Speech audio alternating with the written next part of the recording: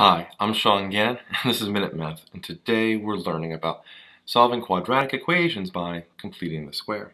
Minute Math, Minute Math, when you need help you use Minute Math. We're given this problem right here, 4n squared plus 4n plus 36 equals 0, and we need to solve this by completing the square. First thing I notice is why don't we divide both sides by 4, that a value. So I do that, and I'm left with an n squared plus, well, n plus 9 equals 0. I'm going to subtract the 9 to both sides, and we have an n squared plus n, I'm going to leave a space, equals a negative 9. My b value, that's what's right in front of this n, is 1. So I use my formula, 1 half times 1 squared. 1 half times 1 is 1 half. Square that, and we get a 1 fourth.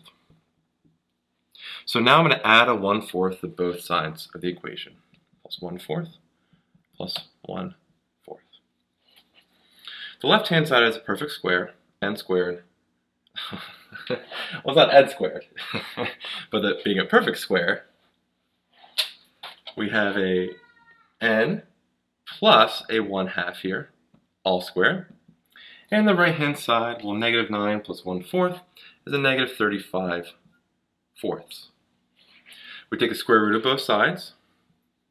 And we have an n plus 1 half here is equal to, now it's plus or minus here. And square roots of fractions, we can do the numerator and denominator individually. The numerator, square root of negative 35, is the same thing as the square root of negative 1 times the square root of 35. The denominator, square root of 4, is 2. So now, let's subtract 1 half to both sides. So n equals a negative 1 half.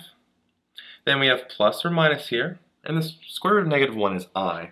So we have i, square root of 35 over 2. Let's keep on going here. And n equals, and notice we have the same denominator, common base of 2. So we can add them together. So we can write it as a negative 1 plus or minus i square root of 35 over 2.